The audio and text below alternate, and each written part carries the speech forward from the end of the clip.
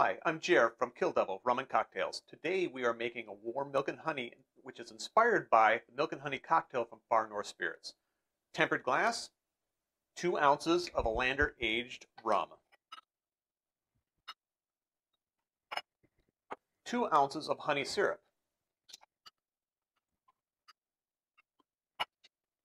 two thirds ounces of coconut milk,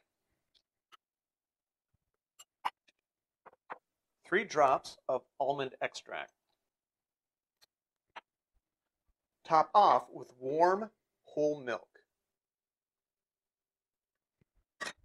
Give it a good stir. Dash of nutmeg. Try not to spill. There you have it. Drink with good spirits.